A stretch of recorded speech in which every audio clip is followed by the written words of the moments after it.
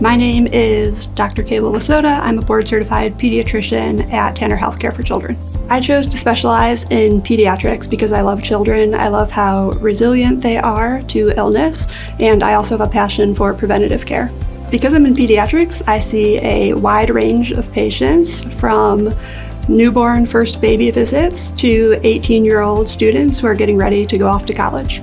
So, my approach to patient care is to treat each family, each parent and child as individuals, and to take my time really listening to what they have to say about how they'd like to care for their children's health.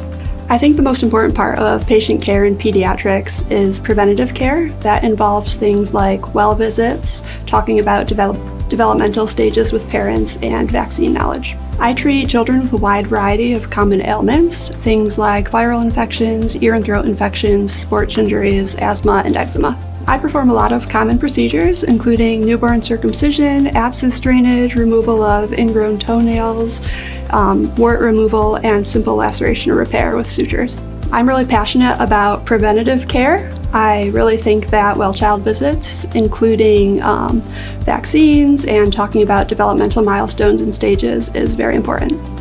My favorite part about being a doctor at Tanner is just caring for all of the children, educating new parents, and helping children grow and develop. My favorite thing about practicing in this community is the dedication that parents here have to caring for their children and their children's health. I hope that after each visit with me, parents can take away at least one new thing that they didn't know about their child at a particular developmental age or about a particular illness to help better care for their kid at home.